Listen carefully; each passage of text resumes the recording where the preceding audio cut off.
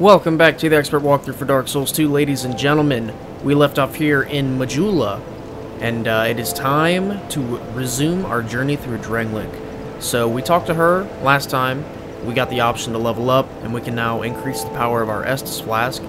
The start of this episode is going to be a little bit slower, not so action-packed, because I'm going to be showing you the different NPCs, we're going to be looting the various items that are scattered throughout Majula, and it's not going to take that long, but it'll take probably about half the episode, or a decent chunk rather. Over here you've got a soul item and three life gems. Definitely useful stuff that we want. Lenigrast is the blacksmith. He is the first NPC that you should talk to because he gives you a goal. Who are you? Oh, it doesn't matter. Just help me open this door. I packed my tools in here, seeing it was vacant. But now somebody's gone and locked the door. Alright, he seems very demanding and rude, but I promise you he's not that much of a jerk. He's actually a very vital NPC that you want, and you definitely would benefit from helping him because he's going to open up a window of convenience for you. I'm a blacksmith.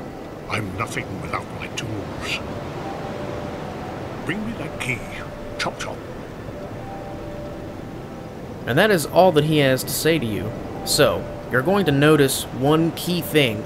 See what I did there? You're going to notice one key thing that he left out. His name. So, we're not really going to know what key to go grab because we don't have a name or anything. Well, it's going to be one of the first keys that you encounter in the game. Trust me, you're going to know exactly which one it is and you're going to know exactly what to do with it. So, there's no worry there. Now, there is an NPC up top there on the monument. We are going to go talk to him last, though because his dialogue is by far the longest. Most of you who have played this game already know what I'm talking about. It's rather painful to sit through his dialogue, but he tells us some useful things. Okay, we got a life gem over here. Now this is the entrance to Heide's Tower of Flame. We're not going to be going there for a little bit, but if you head up this direction, you get access to a Covenant, and there is an item up here. Five Homeward Bones. They return you to the bonfire when you use them. It's a very useful item. This right here is the Victor's Stone. It is how you join the Champions Covenant, and the Covenant of Champions offers one incredible thing to you. The Vanquisher's Seal, which greatly increases the damage of your fists with no weapons being used. It is a very overpowered item. I have tested it myself in PvP. It destroys. But I'm not going to be getting that in this playthrough, so I don't want to join this Covenant. However, if you uh, just bring up the option thing to join it, you get the trophy, I believe. You have to offer an Allstone to it, which is an item that only drops when you're in the Covenant. But the purpose of this Covenant is very difficult, because what it does is it raises the difficulty of the game to an extraordinary level. Like, even worse than New Game Plus, basically with no benefits. You don't get any of the benefits of New Game Plus. You only get the difficulty of the enemies. So we're definitely not going to be bothering with that. And when you run over here, there are two houses you can go into. There are three. There's one house right here, there's a mansion in the center, and then there's one over there. We cannot go inside the mansion yet because we do need a key for that. However, we will run into the NPC that drops that key for us, when we get to the Forest of Fallen Giants. In this first house, you are going to meet one of my favorite NPCs in the game. If I can find her. There she is. Oh, undead are we? And one without much time remaining. Just about ready to fall apart, I'd say. Not exactly the time to be chatting with a cat. Well, suit yourself. Oh yes, you may call me Shalquoir. Enchante. So, what did you want anyway? Ooh, you smell wonderful. this is Shalquoir. She is one of my favorite NPCs. I love how her actions completely contradict her attitude. I mean, she appears to be nothing more than just an ordinary house cat, but she's actually a very interesting NPC. She knows more about everything that's going on in this game than any other NPC. She seems to have a lot of background information. She seems very well informed of the situation of the world right now, and even the world before. She's very old. You can tell when you talk to her that she is ancient. She has been and she has been through a lot. She's experienced many things and she has seen more than most NPCs in this game. So, she is a merchant. You can buy special rings from her. Only uh, two of which I'm going to get in this playthrough. She sells the Ring of the Evil Eye, which gives you a set amount of HP after every enemy you kill. It's, it's microscopic, it's not that great. The Silver Cat Ring is the most important ring that she sells, to us anyway. It reduces fall damage greatly, so most falls that would kill us would uh, probably leave us with about 10% of our HP, which is, you know, it... The ends justifies the means because we're not going to die even though we took a risky jump, right? So, the Ring of Whispers is the second important ring that she sells. It's uh, a ring that allows you to hear the voices of enemies. It is only useful for one particular NPC in the game, but it's a good NPC who gives you an awesome item. The Name Engraved Ring is uh, an online play item. It gives you a selection of gods to choose from. I believe it's a list of 10 or something like that. When you and a player choose a set god, you guys will be able to see each other's signs easier. It uh, increases the room for connection, as in the soul memory system. I'll explain that in a later video, probably. And uh, it's just a ring that helps you connect easier when you're trying to play with particular people. The Red Eye Ring is uh, a ring that causes enemies to be drawn to you versus NPC phantoms or other players that you're with. And uh, it has a really cool effect. It causes your eyes to glow red and it leaves sort of like a streak when you run around. It's really cool. She also sells Homeward Bones, Prism Stones, Alluring Skulls, and the Lloyd's Talisman. These are all useful items to an extent, but I do not need them from her. The other unique thing that Shalquoir can do is she can terminate you from your covenant, if you don't want to be in your covenant anymore, and she can also check up on all of your covenant statuses, meaning as you join different covenants, uh, covenants over your playthrough, she will give you the ability to see your progress with those. You can see your rank, you can see all of that nonsense. It's really cool. I'm not going to be exhausting these NPCs' dialogue because it takes forever, and I mean, it's not necessarily essential to the game. You can talk to them if you want lore information, but I'm not necessarily concerned with that. I just want to Nothing progress for right now. You, I presume. Well, that's dismaying. Okay. We will talk to her a bit later. Now this right here, if you get into the mansion and you walk up there, you're going to be able to look down in the well and see that there's an item down there pretty easily. But most people aren't going to know about this item in their first however however long in the game, 30 minutes to an hour, until they get to the mansion. That's probably going to be the first time that... Okay, that flag hanging up there kind of freaked me out for a second. It looked sort of like a spider in the corner of my screen. Not that I'm scared of spiders, but I mean a spider that big? Are you kidding me? All I have is this little hand axe? Yeah, that would have scared the crap out of me. Um, anyway, if you hit this right here, if I can hit it, there we go. It'll bring up the body for a very, very important item that you don't want to miss. An Estus Flask Shard. The Estus Flask Shard increases the uses of your Estus, meaning instead of having just one Estus, like we have right now, when we give this to the Emerald Herald, we will have two Estus Flasks. You have a maximum of 12 per playthrough. Well, period. Because when you get to New Game Plus, it does not increase your uh, maximum Estus Flask. So you can only have 12 per playthrough, as in that character. So these pigs over here are undead pigs. They hit like a truck in the beginning of the game if you don't have very much defense, and there's three of them over there. When they gang up on you, they will kill you incredibly fast. They're not really worth fighting, because once you aggro them, they pull for the entirety of Majula. They will chase you forever until you get rest of the bonfire.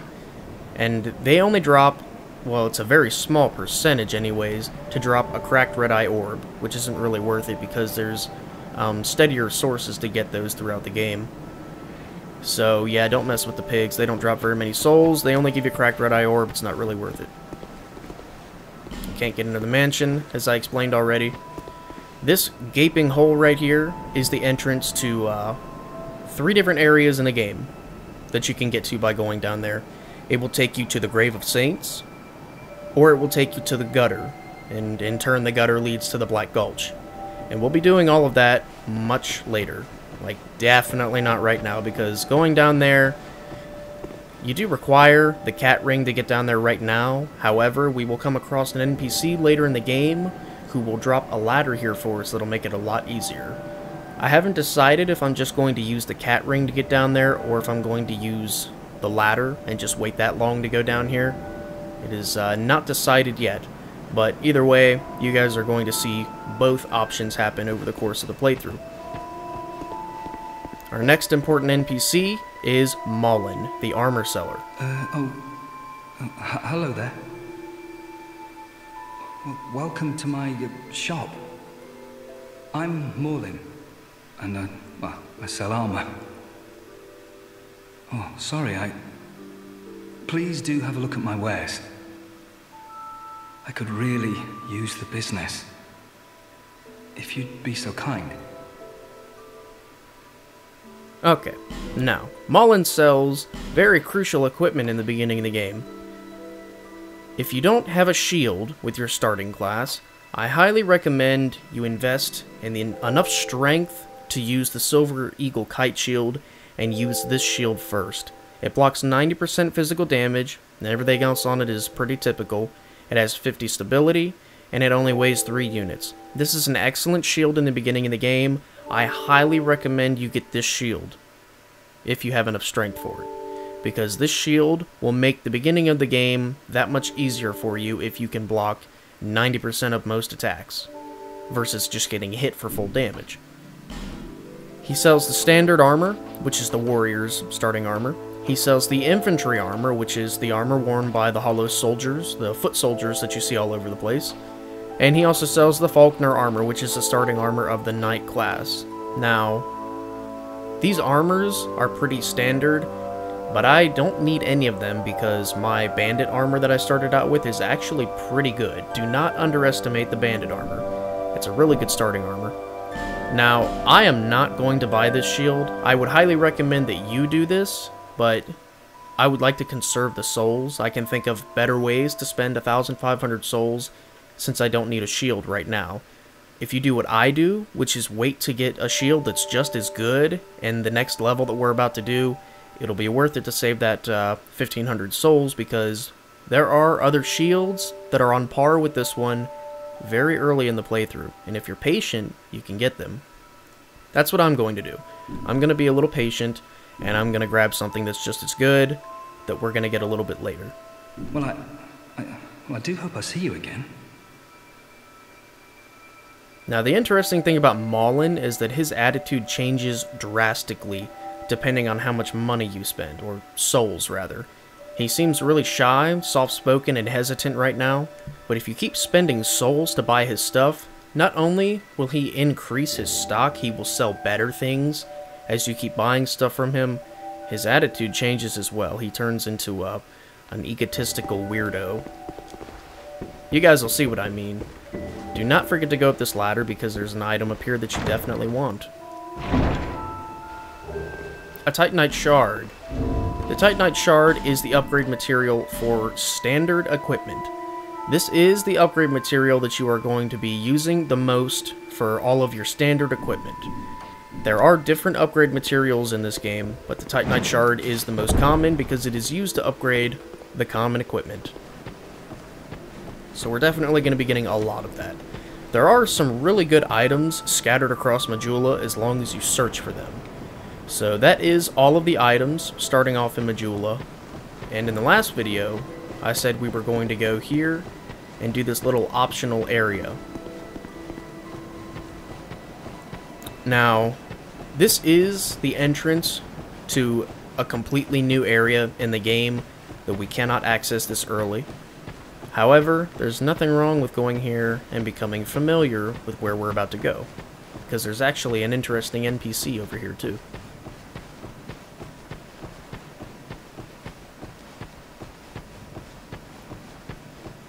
This is Benhart. He is a friendly NPC, and he is also a friendly NPC summon. You can use him against certain bosses in this game. Have you business with me? The way yonder is all blocked up, you see, by this god-awful statue. Heavens above. Who thought it a good idea to put it there? Oof, I'm in quite the pickle now. Okay. There's an item right next to him. Life gems and homeward bones. We definitely want those. This is the statue he was talking about. Statue blocks your way. This, uh, this woman was petrified while trying to pull the handle that is going to open this door, and that's why we can't proceed.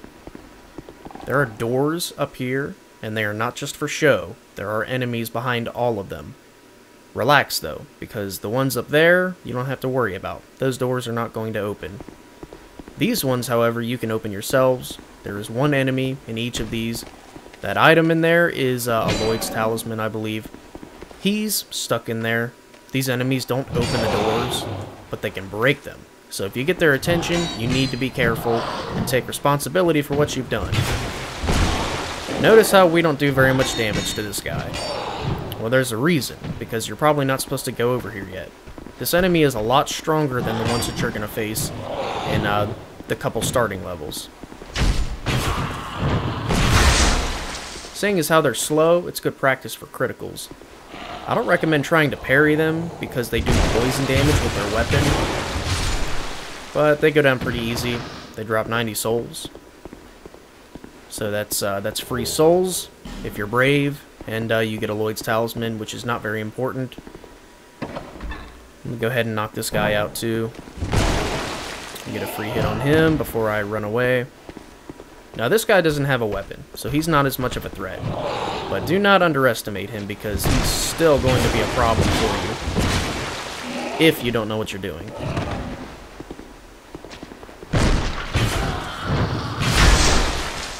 Like I said though, it's good practice for backstabs. So go, we'll uh, go ahead and get rid of them. Now we're going to go finish his dialogue. See that statue? Gives me the willies. You stare at it for long enough, it starts to look alive. Ah, it just doesn't seem quite right. There are no craftsmen round these parts. Hey, you don't think a real life person was turned to stone, do you? Well, it's quite the possibility, Benhart. Moving on. It's time to get out of this depressing hallway of the forest. Alright, we need to head back to Majula. And... I believe that's just about everything for the starting area. Uh, yeah. We got everything. Everything that I can make a mental note of, anyway. So now, we just need to talk to Saulden. And we will be good to go start kicking some more ass. Alright, I have low endurance. I'm almost there, Saulden. Just bear with me. I have no stamina. I'm a noob. Okay. Saulden here, he doesn't ever leave. He stays here for eternity. He is sitting next to a death count. There are that's a big number. 125,200,840 deaths on Dark Souls 2 for PC. That does not mean that everybody sucks. That just means that there are a lot of people playing it. And a lot of those deaths are PvP. I can tell you that for a fact. When you go behind Saulden here, there is just, uh, the letters are worn beyond recognition. Now, to my experience, there is absolutely no significance to this. It's sort of like the pendant for Dark Souls 2. Miyazaki, even though he wasn't involved in the project, this right here is sort of like a rub-off of what he would have done. It's just a troll. It's meant to make you think that it's important when it really has no purpose whatsoever. I don't know how many people on here watch EpicNameBro, but he really got us with that. In the beginning of his first playthrough, he looked at it and he was like, oh, what's that? I'm sure that's nothing. Pulled our legs, made us start thinking, and then he told us that it was useless. So, congrats to him and the developers for Dark Souls 2. You got us. You're undead, aren't you? You have that distinct scent, the smell of irreversible fate. This is Majula. It is a kind of settlement. A place where life is almost normal. And in Drangleic these days, there are very few places like that. Okay, I'm just gonna warn you guys real quick before I continue talking to him. You can skip ahead in the video if you want, it's not going to hurt my feelings at all. Saulden's dialogue is very long. It's going to take probably five or six minutes to exhaust it because he has a lot to say. Not that the things that he says are pointless, he does give you very good information. He tells you about the three optional starting areas of the game, he tells you three different directions you can go first, and uh, he also offers you a covenant. And I believe after 50 deaths in your first playthrough, he will offer you the Ring of Steel Protection, if I remember correctly. So we're going to go ahead and get started exhausting his dialogues. It's going to take a while. You can skip ahead if you want, but if you want to hear what he has to say, by all means, tune in. I am Saulden. And like you, I lost everything. And now I'm here. You probably heard that it was possible to break the curse here. Well, that's not true at all. There's nothing here for you, me, or anybody. Do you know much about souls? Even I'm not certain, but I'm told that the soul is the essence of life itself. Anything living, sentient or no, supposedly has one. What we call the curse is traceable to the soul. Do you see what that means? To be alive, to walk this earth. That's the real curse, right there. We undead will never die. And that's quite a predicament, really. There are four beings in this land with giant souls. And wherever you go from here, you'll sooner or later come up against them. Each has a powerful soul and a terrible curse. If that frightens you, then you ought to just give up right now. Like I have. Do you ever cry out for help? The journey of an undead is long and treacherous. You'll face invaders from other worlds at every turn. If you need help, why not proclaim faith in the Blue Sentinels? When you face danger, the Blue Sentinels will come to your aid. Protection is yours, if you wish. You need only accept their kind embrace. Okay, I do not want to join the Way of Blue because I'm not scared of invaders. I can fend for myself. And I'm not particularly interested in any covenant at this point. There are covenants that I'm going to join for uh, certain content that I'm going to show for the playthrough, but this is not one of them. I see. Then you'll have to brave this treacherous journey on your own. If you ever require help, come back anytime. I will stay here and pray for your safety. Do you feel lonely here? It suits me just fine, as I've nothing left anyway. It will grow on you, this place. Give it some time. Okay, his dialogue takes forever to get through, but you get a gesture out of it. Not a very cool one, but still, I mean, I wanted to show it anyway. And you can also enter the Covenant. continuing to talk to him is going to give you some valuable information. He will tell you about the three different directions you can go, being uh, the Forest of Fallen Giants, the gutter, or the big well that leads to the gutter, or the uh, Heide's Tower of Flame. And he also gave us a reminder of what our objective is. We have to find the four large souls, and uh, we have to empower ourselves with them and go back to the Emerald Herald. So that is all part of the game plan right May now. you find peace on your journey. Alright, I'm sorry that took so long, but we are finally ready to go party. So I'm going to rest at this bonfire first to get back that little sliver of durability that I lost on my hand axe. I cannot wait until I get 20 dexterity to start cracking this thing around. Now that's one thing I probably should say is I tried recording part 2 last night but my visual driver completely crapped out, crashed on me, ruined the footage completely, and this is actually a restart of that character. I had to start over.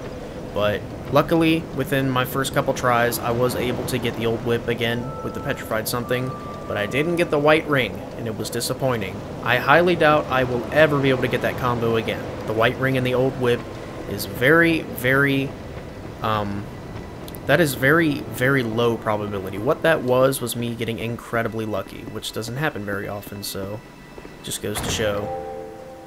Appreciate what you have for what it is. Right here, you get a rusted coin in this chest. We already covered what that was. It increases your item discovery. It has uses in the playthrough, I promise, but just not right now. And when you go this way, this door right here takes forever to open, and it shuts automatically behind you. So, just letting you know. If you open the door, and then you set your controller down and take a drink or something, and you look back and it's closed, your game is not broken, I promise. See? Okay. This is the entrance to the Forest of Fallen Giants. And there's a unique little trick right here that a lot of people are going to try and fail at, but I'm going to show you the right way to do it. Be careful going down these planks, because if you fall into the water, it is death. There's a human effigy in this chest down here. You definitely want that. Now, you see that item over there? You can jump to it. Fairly easily. Just make sure you wait until you get to the edge to jump. We get a homeward bone and a soul of a lost undead. Now this little cavern that we're in right here, it's just uh, a separate way to get to that item. Because if we had gone the normal way, we would have come down this hill, and you could just cut around there, go inside the cavern to get that item, or you can jump across like I did. Now, these enemies that we're about to face, these are just regular hollow foot soldiers. They don't hit particularly hard, they're not smart at all, and even in numbers, they're not exactly dangerous.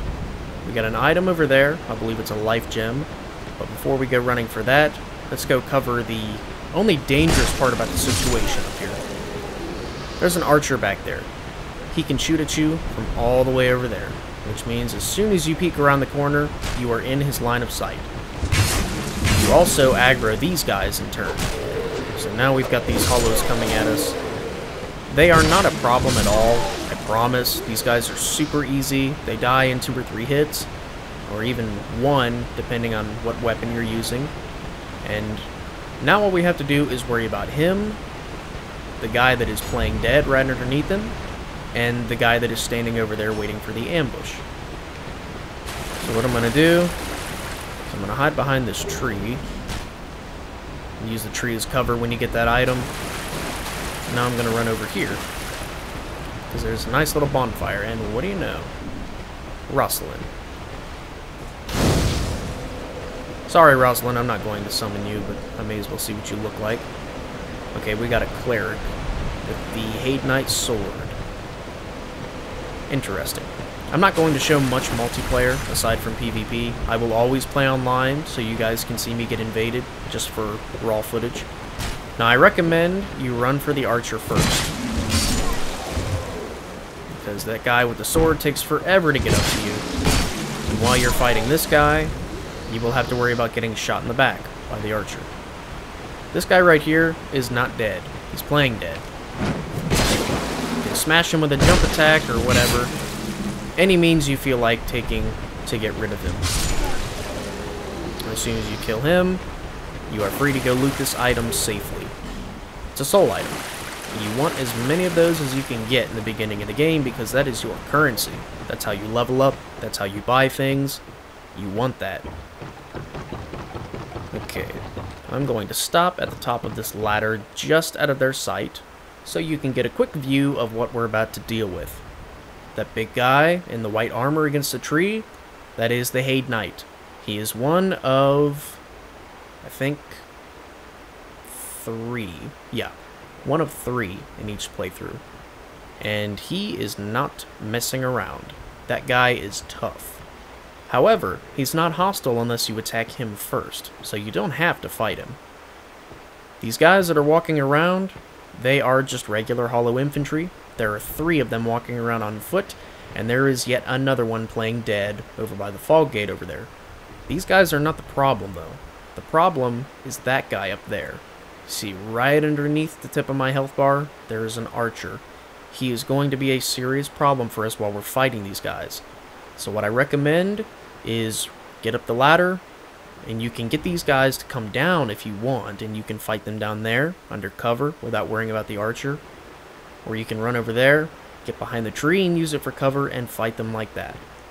What I'm going to do is the more practical method. I'm get them to come after me like this. Now they will fall because they're stupid. Just wait for it. Like that. They will start going up the ladder though. So drop down at your leisure and we'll take care of them down here. Since I have them both in a corridor, it's easy to kill them with the hitbox of my axe. Nice try with the jump attack, but you failed. No, no, no, no. I want to pick up the items. Okay, we got throwing knife. What else we got here? And a life gem. Score. Okay. We got this one guy wandering around up here. I th or no, he actually followed us down. Never mind. Okay, since I got a bow, I could take this guy out like this. It'd be really easy. I'm not going to use the bow for him. I'm going to use it to pull this guy who's playing dead. Yeah, that guy, he jumps up out of nowhere while you're about to go through the fog gate, and he's going to be a pain in your ass. I'm not going to worry about picking up any of these items yet, because I would like to clear the enemies first. It's just uh, sort of a habit for me in these games. That item over there, you are correct in your assumption. You do need to jump over. There is a special trick to making this jump, and I'm going to show you exactly how to do it in a minute. Okay, there's two guys here on the steps. They're easy, though. As you can see, as long as you two-hand your weapon, you can get both of them caught in your hitbox, and they go down super easy. What you need to watch out for is how tight the space is. You need to make sure that you're in the center of the steps when you attack them, because if you try to attack them while you're next to a wall, you're going to bounce like that. It's going to interrupt your attack, it'll leave you wide open, and you're going to get punished for it. You use the rock for cover right here while you get this item, because the archer cannot hit you with all that debris in the way. Now you could shoot him from right here if you have a bow, or throwing knives. But I find it more satisfying to run up and hit him in the face with my axe. So we're going to do that.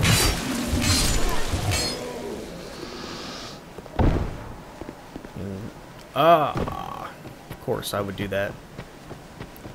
That's what happens when you don't wait to get your endurance back. Alright, let's try that one more time. That was slightly embarrassing. I'm gonna go ahead and waste a life gem. Now, what you want to do is you want to use your Estus flasks first. But I honestly have a ton of life gems right now, so it's really not a big deal. I don't exactly need to conserve them because I'm not worried about getting invaded, and uh, there there isn't really a big difference in speed between them. The short sword and the soul of a lost undead. I am going to switch to the short sword because my hand axe is seriously hurting on durability right now. And I'm going to go ahead and equip this just for the sake of it. Okay. Let's go ahead and uh, get that item across there.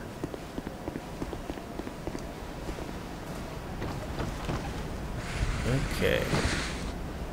So, the special way to get this item is when you jump, you want to make sure that you are against the wall when you jump. You want to make sure that you are essentially scaling that big rock wall right there.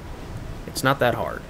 But if you jump out in this direction, you're going to miss and you're going to die because the drop is pretty far. It's further than it looks. So this is the way you want to do it. Success. Alright. This uh, Soul of the Nameless Soldier and those 10 throwing knives, they are going to come in more handy than you know. So, take the jump at your own risk, but be noted that it is worth it if you do. Okay. So now it is time to loot these items real quick. Hey man, I'm just going to steal this. I hope you don't care. And then we are going to take on the Mighty Heide Knight. Alright, do yourself a favor. Be at full health when you fight this guy, because you have no idea how hard he can hit, and it's going to be a surprise to you. When you aggro him, make him stand up with just one hit. When he stands up, you can get a free backstab. Notice how we're not doing very much damage to him. This is where the magic of the dagger comes in handy. When you find an opening to backstab this guy, which is incredibly difficult, I'm going to show you how to do it though. Using the dagger to get a backstab on him is going to be the winner's strategy. Now that attack right there where he flails, that is his backstab prevention combo. Self-explanatory. It'll make it impossible to get a backstab on him when he does that. And he does it a lot because he's expecting you to try and get a backstab. He has a lot of health and a lot of defense. Most people are going to put two and two together in their head, go for the backstab to kill him faster. Well, you know what? The Heide Knight is prepared. That's his typical three-hit combo. However, he is hard to backstab because he rarely leaves his back open, and he can chain into that backstab prevention combo at any point. He does not have to recover from his current combo to do it. He can do it almost instantly. So you need to watch out for that. So what we want to do is watch out for this. That right there is his jab attack. It happens without warning because he stands there for a minute thinking that, well, it makes you believe that there's a window to attack, when in reality, you're about to get stabbed really hard in the face. So what you can do is you can get near him and bait his attacks to leave him open for a backstab, or you can do what I'm about to do. Dodge and punish. You see how much more damage that did versus the short sword? Well, once you get a successful backstab on him with the dagger, you can chunk away at his health with your regular weapon, with no problem. Let me show you the magic of the short sword. Let him attack first. I prefer he does the jab, so it leaves him open longer. It has a thrust attack. That attack, I hate it so much. There we go. The thrust attack of the short sword is incredibly viable. You can do it with two hands, or you can do it with one hand. Either way, it's super useful. It's probably one of the better weapons in the beginning of the game, no matter how typical it sounds. It's really good. The Heide Knight sword is a 100% chance drop from your first Heide Knight. You will always get the sword, no matter what. It starts off with decent base damage. It's got 75 uh, base damage, but it has 50 lightning damage. So you can essentially be doing lightning damage right at the start of the game. It is a really good sword. It has three C's in scaling. It's got a C in strength, dexterity, and the lightning scaling. It's a super good weapon. It does a lot of damage in the beginning of the game, It has a very versatile move set, being horizontal versus, uh, yeah, I mean, being vertical versus horizontal. When you swing it, I'll, I'll show you. It swings vertically instead of horizontal, and the strong attack is a horizontal sweep chained into a stab. It's a really good weapon in the beginning of the game.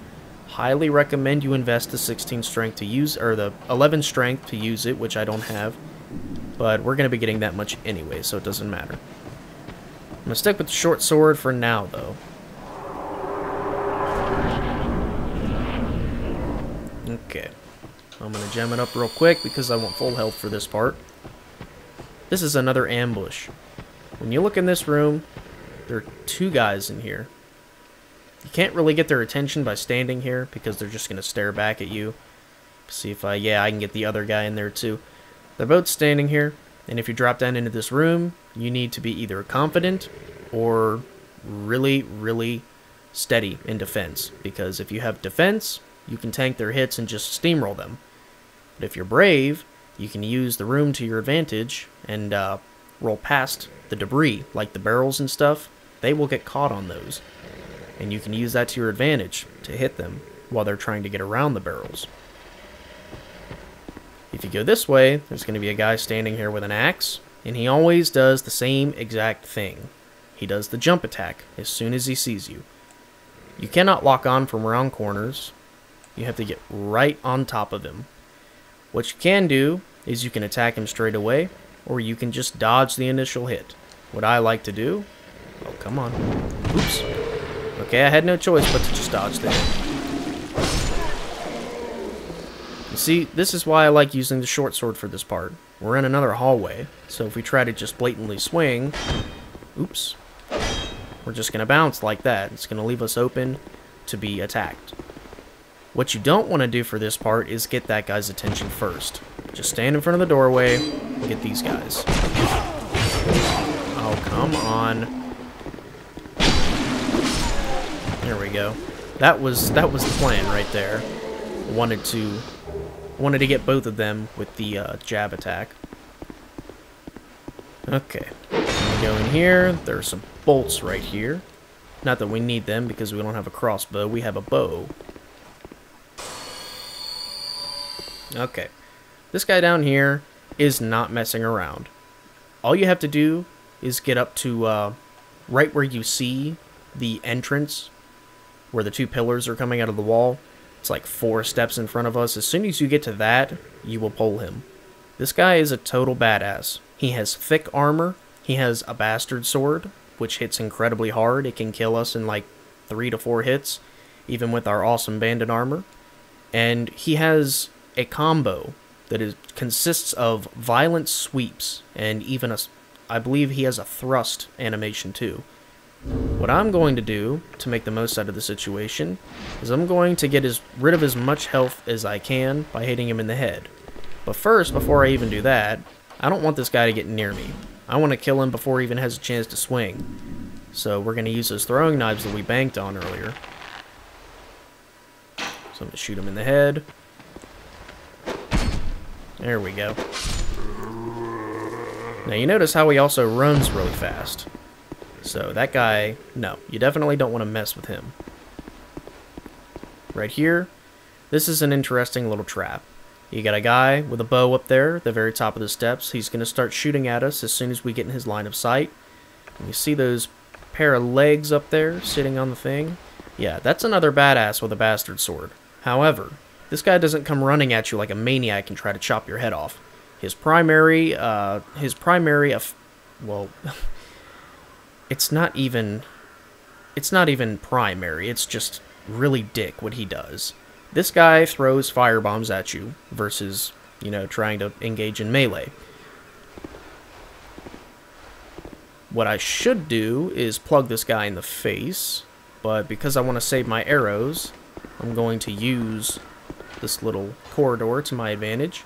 I'm going to wait for him to shoot, and then he moves like that. It's a very interesting little mechanic. I don't know why it is counterproductive for him, but that means we can run up there and kill him before that guy has a chance to throw firebombs at us. I would honestly prefer he throw firebombs versus trying to hit me with his claymore, because, not claymore, his bastard sword, because that thing hurts.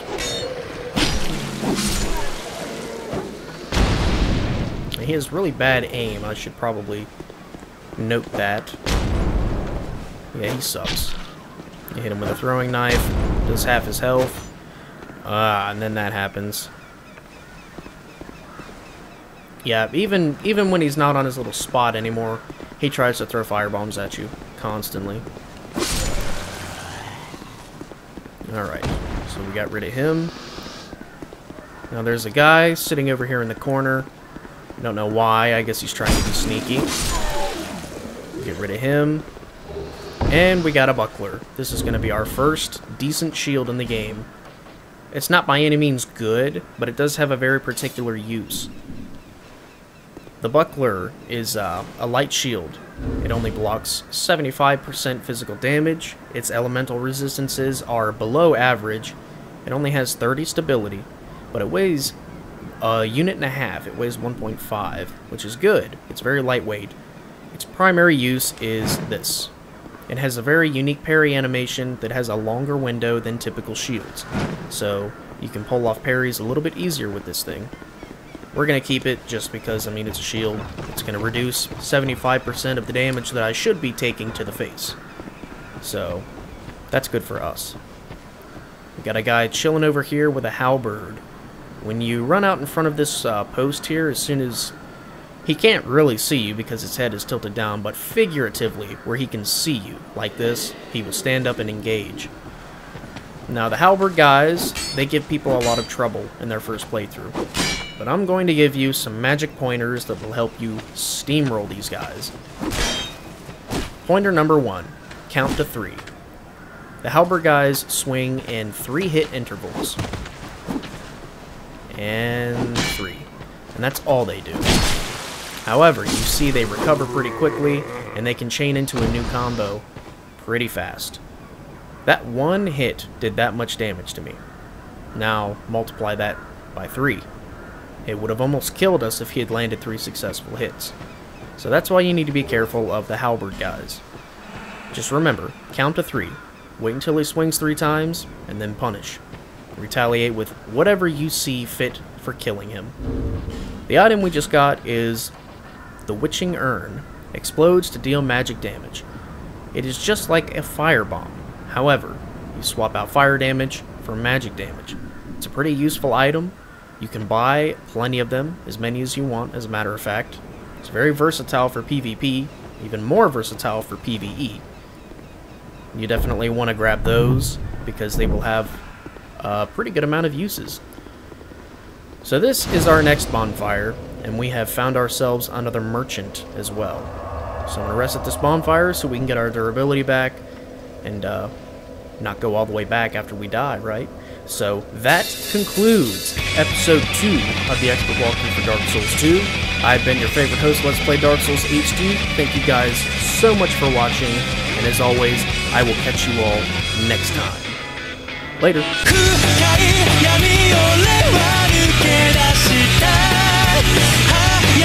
みたい